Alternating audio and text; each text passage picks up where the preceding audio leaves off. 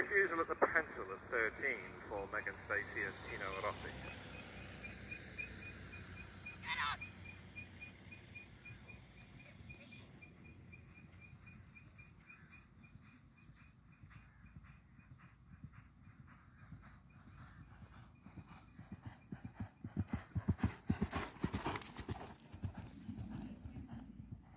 Over the feeder at 6 for Catherine James and Domino Dom.